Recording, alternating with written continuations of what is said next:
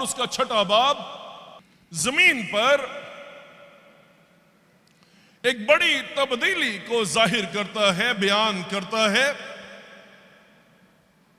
और ये तब्दीली जो आई है, ये तब्दीली इंसान के रवैये और इंसान की सोच और उसकी आदतों में और उसकी अप्रोचेस में आई है। जो इंसान के दिल के ख्याल और तस्वरात हैं, उनके नतीजे में खुदा ने इंसान के साथ बर्ताव किया है और उसके नतीजे में इंसान की उम्र जो है वो घट गई है। उससे पहले नौ नौ साल, साढ़े आठ सौ साल, साढ़े नौ सौ साल लोगों की उम्रें होती थी। यहाँ पे 120 साल उसकी हद मुकर्र कर दी है। लाइफ स्पैन शॉर्ट कर दिया गया है। इसका मतलब यह है कि आपकी उम्र का दारोमदार आपके हाथ में है। ऐसे हालात में जब ज़मीन नाराज़गी से भरी हुई है, एक शख्स है, वो अपनी जात में इंफरादी तौर पर और उसका खानदान इजतमाही तौर पर गुनाह और बदी, बदकारी के सारे सैलाब के बावजूद ये ये शख्स अपनी जात में यूनिक है, अपनी जात में अछूता है, अपनी जात में निराला है कि ये शख्स खुदा की नज़र में मकबूल हुआ है। इसका मतलब यह है कि ये शख्स दुनिया की रविश पर यह दुनिया के बहाव में नहीं जा रहा, बल्कि ये दुनिया से हटके चल रहा है। और ये जो हटके चलने वाला शख्स है, ये इंसान की नज़र में नामकबूल है। अपनी दौर में ये नामकबूल है, लेकिन ये शख्स खुदा की नज़र में मकबूल है। तीन काम कर। रहे ये शख्स खुदा के साथ साथ चलता रहा, ये शख्स वॉक कर रहा है खुदा के साथ।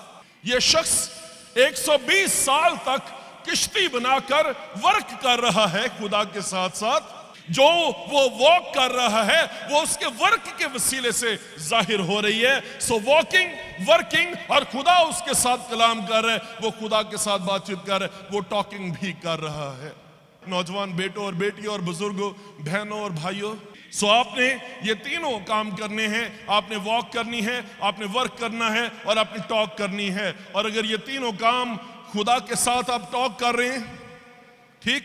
उसके उसके कलाम के मुताबिक आप वर्क कर रहे हैं और आप रास्तबाजी में खुदा के साथ साथ चल रहे हैं, खुदा आपको ब्लेस करेगा, खुदा आपको बरकत देगा।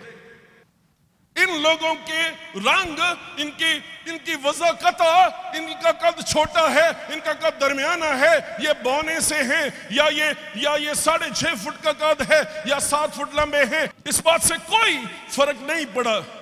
ये कितने परहेजगार हैं, ये नमाजों के कितने बुर्ज बना रहे हैं, इनका कौन सा मज़हब है, इनका कौन सा अकीदा है, ये कौन सी नस्ल में से आए हैं, इनका कौन सा गिरोह है इस बात से कोई फ़र्क नहीं पड़ा। ये कौन सी ज़ुबान बोल रहे हैं? इस बात से भी कोई फ़र्क नहीं पड़ा।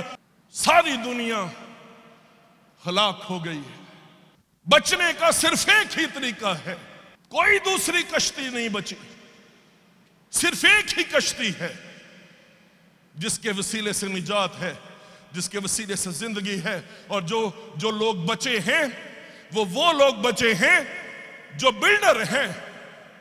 जिन्होंने इस किश्ती को बनाया है। 120 साल तक समंदर से 100 मील के फासले पर ये खुशकी पर ये किश्ती बनाते चले जा रहे हैं। ये जो बिल्डर हैं और इन बिल्डर्स के जो हेल्पर्स हैं, ये बचे हैं। बिल्डर्स कौन से हैं? नूह और सिम और हाम और याफत, जो विजन बाप के पास है। वही विजन बेटों के पास है। जो रोया खुदा ने दी है, वही रोया इन बेटों ने कैच कर ली है। इससे बड़ी बरकत, इससे बड़ी ब्लेसिंग और क्या हो सकती है? कई दफ़ा लोग खुद खुदा के खादम होते हैं, उनके बच्चे खुदा से उतने ही दूर होते हैं। नू है, जो खुदा की नज़र में मकबूल ठहरा है। सिम, हाम और याफत अपने बाप की इस रोया में, उसकी मकबूलियत में, उसके साथ खड़े हो गए हैं। बदतरीन दौर में इससे बड़ी बरकत और कोई नहीं हो सकती। कि आप खड़े हो और आपके साथ आपकी औलाद आकर खड़ी हो जाए और वो खुदावंद की तमजीद करने वाले, वो खुदावंद से निजात याफ्ता लोग हों, वो रास्तबाजी में चल रहे हों, इससे बड़ी बरकत और कोई होगी?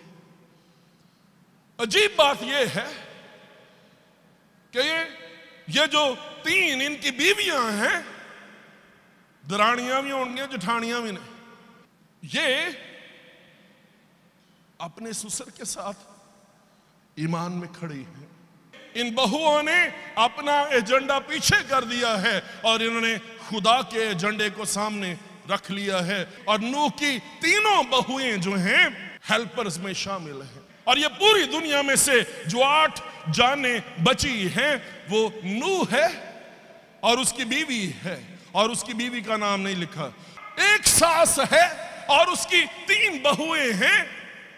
अजीब बात यह है कि इन सास और बहुओं को, इन बाप और बेटों को, और इस सुसर और इसकी बहुओं को, इस किश्ती ने रेकनसाइल कर दिया है। इस किश्ती ने इन सारे लोगों की आपस में सुलह करा दी है। और ये जो बचने वाली किश्ती है, ये सिर्फ़ एक ही है। और इस सारी कायनात में सिर्फ़ एक ही नाम है। जो नाम जिसके बारे में ये लिखा है, आसमान के तले आदमियों को कोई दूसरा नाम बख्शा नहीं गया, जिसके वसीले से हम निजात पा सके। सिर्फ़ एक ही नाम है। सिर्फ़ एक ही नाम है और वो नाम यस्सु मसीह का नाम है। और इन बहुओं ने ये कहा है, हमारी इज़्ज़त, हमारी हुरमत, हमारे ईगो से बड़ा नाम खुदा का नाम है। और इस खानदान ने एक दूसरे को गले लगा लिया है और इनके एक दूसरे के साथ सुलह है। और ये सारा खानदान आठ लोग इस किश्ती में बच गए कोई नहीं बचा, सिर्फ़ एक ही बचा जो उस दौर में नहायत नामकबूल था, लेकिन वो खुदा की नज़र में मकबूल था। हम दुनिया की नज़र में नामकबूल हैं। ये बात आपके लिए एजाज का बायस है। ये बात आपके लिए बरकत का बायस है। ये बात आपकी तरक्की का बायस है कि हम निजात पाने वाले हैं। हम ज़िंदगी पाने वाले लोग हैं। हम खुदा की नज़र में मकबूल हैं। आपका नाम आए या ना आए, आपकी रिकग्निशन हो या ना हो, अगर आप बिल्डर हैं और आप हेल्पर हैं, आप नेम्ड हैं या आप अननेम्ड हैं, हम निजात पाने वाले लोग हैं। देखिए, दूसरा पत्रस निकालें, उसका तीसरा बात उसकी पांचवी आयत। वो तो जान बूझ कर ये भूल गए कि खुदा के कलाम के ज़रिए से आसमान कदीम से मौजूद है और ज़मीन पानी में से बनी और पानी में कायम है। ये नू के दौर की बात हो रही है। इसका मतलब यह है कि ये लोग पैदाइश पहला बाप भूल गए। ये लोग जो पैदाइश छठे बाप में ज़िंदगी गुजारे हैं, ये लोग पैदाइश पहला बाप भूल गए हैं, जहाँ पे खुदा ने ऊपर वाले पानी को नीचे वाले पानी से जुदा किया था और उसने कहा था कि पानी एक जगह पर जमा हो जाए और खुशकी नज़र आए। खुशकी को उसने ज़मीन कहा और जो पानी जमा हो गया था, उसे समंदर कहा और जो पानी ऊपर अलहदा कर दिया था आसमान में, ऊपर भी पानी था, समंदर भी था और ज़मीन जो थी वो भी पानी पर ही टिकी थी। जबू नंबर छियालीस को पढ़ लें। ज़मीन की बुनियाद जो है, वो भी पानी पर थी। तीसरे दिन उसने सारी जड़ी बूटियाँ और घास फूस और दरख्त जो है, वो लगा दिए, वो उगा दिए खुदा ने। खुदा ने उगाए और फिर उसके बाद चौथे दिन खुदा ने सूरज को और चाँद को और सितारों को बनाया। अब सोचने वाली बात यह है अच्छा अगर सूरज बना, सूरज से बैक्टीरिया बना, बैक्टीरिया से बांदर बना और बांदर से बंदा बना तो ज़िंदगी शुरू हुई। चौथे दिन तो खुदा तो पहले दिन और दूसरे दिन और तीसरे दिन। इसका मतलब है ये फोटोसिंथेसिस और ये सारा अमल और ये सब कुछ जो दरख्त जो है वो सा, वो रोशनी की तरफ़ बढ़ते हैं। सूरज की रोशनी इधर से आती है उधर को बढ़ते हैं ये करते हैं वो करते हैं। मुझे एक बात बताएँ तीसरे दिन तो सब कुछ बन गया था और रोशनी तो पहले दिन बनी थी। जब खुदा ने कहा था रोशनी हो जा तो चौथे दिन सूरज और चाँद और सितारों की रोशनी तो चौथे दिन बनी है। इसका मतलब ये है कि ये सूरज और चाँद और सितारे जो हैं, ये ज़मीन को कायम नहीं रखे हुए, ये ज़िंदगी को कायम नहीं रखे हुए, बल्कि खुदा और उसका कलाम जो है वो वो आसमान और ज़मीन को कायम रखे हुए है। इसीलिए तो जबूर नवीस ये कहता है कि इस लई कुछ डर नहीं, पावे ज़मीन जावे उलट। सारे पर्वत रुड़ के पावे, विच समंदर पैण जा। रब साडा ज़ोर है ते नाले साडी है पना दे मदद और सख्तियाँ विच जड़ा साडा है खुदा। जुबूर नंबर छियालीस, खुदा उसमें है, उसे उसे जुम्बश ना होगी। मैं आपसे पूछना चाहता हूँ, अगर खुदा नू और उसके खानदान की तरह आपके दरमियान में है तो बाइबल मुकदस कहती है, आपको जुम्बश नहीं होगी, क्योंकि आपकी ज़िंदगी का दारोमदार सूरज और चाँद और सितारों पर नहीं है। आपकी ज़िंदगी का दारोमदार ज़िंदा खुदा पर है। आगे लिखा छठी इन ही के ज़रिए से उस जमाने की दुनिया डूब कर हलाक हुई। किन के ज़रिए से? ऊपर वाली आयत में लिखा है, जो जान भूज कर भूल गए, दुनिया डूब कर हलाक हुई। हम ये देख रहे हैं कि एक माजी की बात वो कर रहा है, जब नूह के दौर में ये हुआ था, और अब फ्यूचर की बात सुन लो ध्यान से। बहुत सारे लोग फ्यूचर के बारे में जानना चाहते हैं। बहुत सारे लोग ये समझना चाहते हैं कि पादरी साहब, आखिर में क्या होने वाला है? और यह समसी कब आ रहा है? मगर इस वक्त के आसमान और ज़मीन उसी कलाम के ज़रिए से इसलिए रखे हैं कि जलाए जाए। आपको पता है कि एक दिन आने वाला है जो आग के साथ ज़ाहिर होगा। आपको मालूम है और खुदा का कलाम आपको बता रहा है कि पहले अदालत जो है वो पानी के वसीले से हुई है, अब जो अदालत है वो आग के ज़रिए से होगी। वो कहता है, उस और इस ठीक है? वो कहता है, उस जमाने की दुनिया डूब कर हलाक हुई। और फिर वो कहता है इस वक्त के आसमान और ज़मीन उसी कलाम के ज़रिए से इसलिए रखे हैं कि जलाए जाएँ और वो बेदीन आदमियों की अदालत और हलाकत के दिन तक महफूज रहेंगे। दो चीज़ें हैं जो इंसान के बस में नहीं है, एक पानी है और दूसरी आग है। पानी का मज़ा दुनिया ने चख लिया है। पुत्रो अग का मज़ा जरा हूँ चखना है। मुकदस पत्रस, आग की बात करता है जलाए जाने की बात करता है। ये जो आग है, जिसकी बात मुकदस पत्रस कर रहा है, ये बहुत ज़बरदस्त मजमून है और इस मजमून को एक्सप्लोर करने की, इस मजमून को समझने की ज़रूरत है। ये आग जिससे दुनिया नारास्त लोग जो हैं, वो जलाए जाएँगे, ये आग इस आग में जो है, वो ना सिर्फ़ नारास्त लोग हैं, बल्कि रास्त लोगों के लिए भी आग है। तो कहोगे पादरी साहब, है कहीं गल ਉਹਨਾਂ 'ਚ ਤਾਂ ਸਾਡੇ 'ਚ ਫਰਕ ਤੇ ਰਹਿਣ ਦੋ ਤੁਹਾਡੀ ਮਿਹਰਬਾਨੀ ਅਸੀਂ ਬਚਣਾ ਚਾਹੁੰਦੇ फिर नू तो ਉਹਦੀ किश्ती तो यसु मसीह तो बाकी सब कुछ कितने गया सुने ध्यान से और अगर आपके सुनने के सिकान है और कबूल करने वाला दिल और जहन है आज का ये पैगाम आपको कसरत की बरकत देने वाला है आपने दूसरा पत्रस निकाला था पहला पत्रस निकाल पहला पत्रस उसका पहला बाब इसके सबब से छठी आयत तुम खुशी मनाते हो। अगरचे अब चंद रोज के लिए ज़रूरत की वजह से तरह तरह की आजमाइशों के सबब से गम जदा हो। सातवीं आयत देखिए। और ये इसलिए है कि तुम्हारा आजमाया हुआ ईमान, जो आग से आजमाए हुए, फानी सोने से भी बहुत ही बेशकीमत है। यसु मसीह के जहूर के वक्त तारीफ़ और जलाल और इज़्ज़त का बायस ठहरे। ये आग जो कलिसिया में, ईमानदारों में है, ये आग फ़र्क है। ये आग जो है, ये ईमानदारों को रिफाइन कर रही है। ये आग जो है, उन्हें सोने से कुंदन बना रही है। खुदावन का बंदा पत्रस ये फरमाता है, अब चंद रोज के लिए ज़रूरत की वजह से तरह तरह की आजमाइशों के सबब से गम जदा हो। ये आजमाइशों की आग है। और ये जो आजमाइशों की आग है, ये आग आपको रिफाइन कर रही है। ये आग आपको खालस कर रही है। और आप सोने से कुंदन बनते चले जा रहे हैं।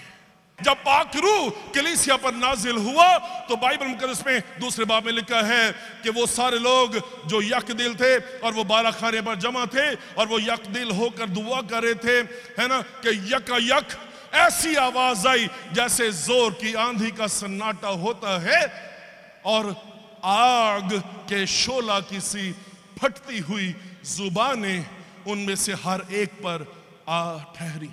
गौर किया आपने? ये आग जो है ईमानदार लोगों की जिंदगियों को रिफाइन करने के लिए है, ये इनको खालस करने के लिए है, ये कलीसिया को खालस करने के लिए है, ताकि कलीसिया जो है वो दुखों में से गुजर कर, वो आजमाइशों में से गुजर कर, वो तकलीफों में से गुजर कर, वो एजार आसानी में से गुजर कर, वो बर्बाद ना हो, बल्कि वो वो सोने से कुंदन बनती चली जाए और उनका सारा नखालसपन जो है वो दूर होता चला जाए।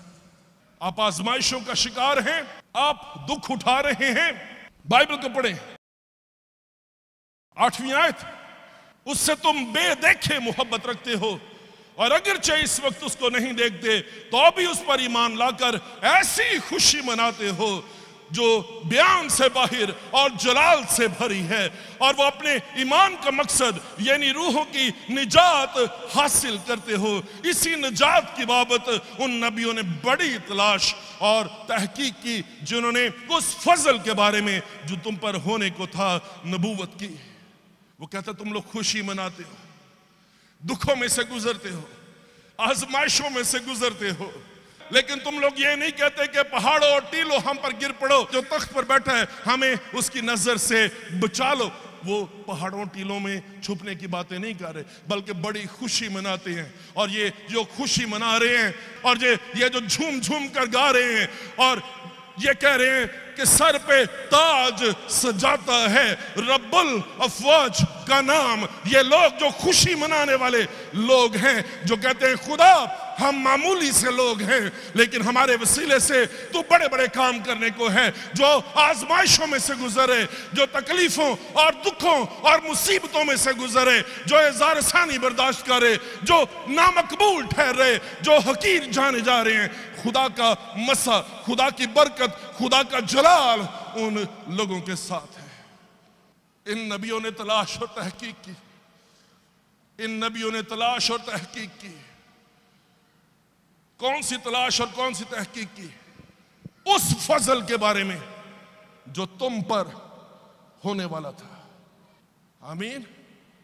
कौन सा फजल हुआ आप पर? असी फिर हूँ सा। ते हुण सानू यस्सु मिले है वो अपने घर आया और उसके अपनों ने उसे कबूल ना किया। मगर जितनों ने उसे कबूल किया, उसने उन्हें खुदा के फरजंद बनने का हक बख्शा, ये फजल है जो आप पर हुआ है। आगे चलें।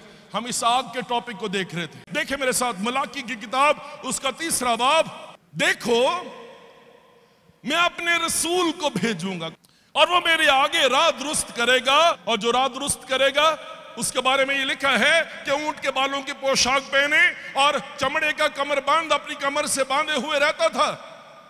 आमीन। और वो जंगली शहद और टिड्डियाँ खाता था और लोग उसके पास गए और उससे जाके पूछने लगे, तेरा नाम क्या है? उसने कहा, मैं बियाबान में पुकारने वाले की आवाज़ हूँ। खुदामंद की राह तैयार करो, उसके रास्ते सीधे बनाओ। और खुदावन जिसके तुम तालिब हो, नागहा, अपनी हैकल में आ मौजूद होगा। ये कहाँ पे? खुदावंद खुदा का रूह मुझ पर है, इसलिए कि उसने मुझे भेजा है। आमीन। वो वो अपने दस्तूर के मुताबिक सबत के दिन इबादत खाने में गया और उसे किताब दी गई और वो खोल कर पढ़ने लगा और फिर उसने कहा, आज ये नविश्ता तुम्हारे सामने पूर नागहा मौजूद होगा। हाँ अहद का रसूल, जिसके तुम आरजूमंद हो।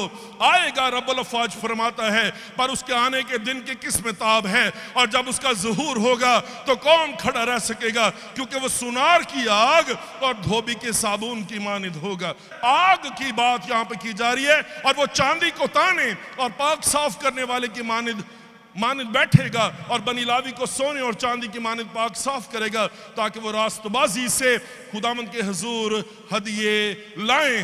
पुराने अहदनामे की आखिरी किताब आग की बात कर रही है, सो पुराने अहदनामे के आखिरी नबी को भी सुन लें कि जो पुराने अहदनामे का आखिरी नबी है, वो क्या बात कर रहा है? मत्ती की इंजील उसका तीसरा बाब और उसकी ग्यारहवीं और बारहवीं आयत में ये लिखा है, बस मैं तो तुमको तोबा के लिए पानी से बपतिस्मा देता हूँ, लेकिन जो मेरे बाद आता है, वो मुझसे जोरावर है। मैं उसकी जूतियाँ उठाने के लायक नहीं, ये वो रसूल है जो रास्ता तैयार करने वाला है। वो तुमको रूहुल कुद्स और आग से बपतिस्मा देगा। उसका छाज उसके हाथ में है और वो अपने खलियान को खूब साफ़ करेगा, है ना? तूड़ी अड ते दाने अड आमीन। और अपने गेहूँ को तो खत्ते में जमा करेगा। अगर आप गेहूँ हैं, अगर आप अगर आप अनाज हैं, अगर आप गंदम हैं तो आप खत्ते में जमा हो जाएँगे। और खत्ते से क्या मुराद है? खत्ता खत्ता जो है वो बादशाही है। नया यरूशलेम खत्ता है। आपके घर में बना हुआ पड़ोला जो है वो खत्ता है। वो खत्ते में जमा करेगा। खत्ते में सारे दाने इकट्ठे फेलोशिप में हैं। मुकाशवा ग्यारहवा बाब और उसकी अठारहवीं आयत। और कौमों को गुस्सा आया और तेरा गजब नाजिल हुआ और वो वक्त आ पहुँचा है कि मुर्दों का इंसाफ किया जाए और तेरे बंदों, नबियों और मुकदसों और उन छोटे बड़ों को जो तेरे नाम से डरते हैं, अजर दिया जाए। हालेलुया। और ज़मीन के तबाह करने वालों को तबाह किया जाए। बाइबल मुकदस ये कह रही है जो फ्यूचर है, जो मुस्तकबिल है, जिन्होंने नूह के दौर में जानबूझकर जय ज़मीन को तबाह किया था, अब एक बार फिर से खुदा ज़मीन को तबाह करने वालों को तबाह करेगा। जो आसमान और ज़मीन पर जो आग है, अदालत के दिन के लिए नारास्तों और गुनेगारों को जलाने के लिए, उनकी अदालत करने के लिए, ज़मीन अच्छी है। ये बात बाइबल मुकदस कह रही है। पहले बाब में सात दफ़ा, सेवन टाइम्स खुदा ये कहता है कि अच्छा है अच्छा है अच्छा है अच्छा है। सात बार खुदा ज़मीन को, सारी क्रिएशन को देख के खुदा कहता है कि अच्छा है। इसका मतलब है, जब खुदा कहता है कि अच्छा है तो जो ज़मीन को बर्बाद कर रहे हैं, खुदा उनको बर्बाद कर रहे हैं जो सब कुछ अच्छा है, खुदा उसे बहाल करके एक बार फिर से कलिसिया को मुझे और आपको सौंपेगा। नया आसमान और नई ज़मीन खुदामंद हमें देगा। वो लोग जो खुदा की नज़र में मकबूल ठहरेंगे, ये ज़मीन उनके लिए है। ज़मीन दे, वारस होवणगे, मुबारक यहोवा दे। आमीन, पर जिन्ना उत्ते लानत है, वो कट्टे जावणगे। मैं और आप इस ज़मीन पर जो खुदा ने तखलीक की, और वो ज़मीन जो अच्छी है, खुदा अब आग के वसीले से अदालत करने को है। मसीहों वाली आग जो है, वो उनको रिफाइन कर रही है, वो उनको खालिश कर रही है, वो उनको पाक कर रही है और उन्हें खुदा के जलाल की तरफ़ लेकर जा रही है। लेकिन एक दूसरी आग भी है, जो आग बुझने की नहीं है। खुदा ने पहली बार ज़मीन को डबो दिया था और ज़मीन को डबो कर नया करके नू के खानदान को जो खुदा की नज़र में मकबूल था, उन्हें खुदा ने यह ज़मीन बख्शी थी। अब आग के वसीले से खुदामंद ज़मीन को रिफाइन करके मुझे और आपको, अपने ईमानदार लोगों को, जो वॉकिंग और टॉकिंग और वर्किंग करते चले जा रहे हैं, खुदा उन लोगों को जो उसकी नज़र में मकबूल ठहरेंगे। खुदा उनको ये ज़मीन एक बार फिर से देगा। और यही चैलेंज एक बार फिर से हमारे सामने है और ये चैलेंज हमारे सामने ये है कि खुदा ने दुनिया से ऐसी मोहब्बत रखी कि उसने अपना इकलौता बेटा बख्श दिया ताकि ये लफ्ज बहुत इंपॉर्टेंट है। जो कोई, ये जो जो कोई था, ये नूह की सूरत में हमारे सामने है और उसके खानदान की सूरत में। मत फ़िक्र करें, हो सकता है आपका अकेला ही खानदान हो जो बच जाए। खुदा को आपके एक खानदान से गरज है, खुदा को सारी दुनिया से गरज नहीं है। आमीन। और उसी एक के वसीले से निजात है, क्योंकि आदमियों को कोई दूसरा नाम बख्शा नहीं गया जिसके वसीले से हम निजात पाए। उसी एक ने ये कहा था कि राह और हक और ज़िंदगी मैं हूँ, कोई मेरे वसीले के बगैर बाप के पास नहीं जा सकता।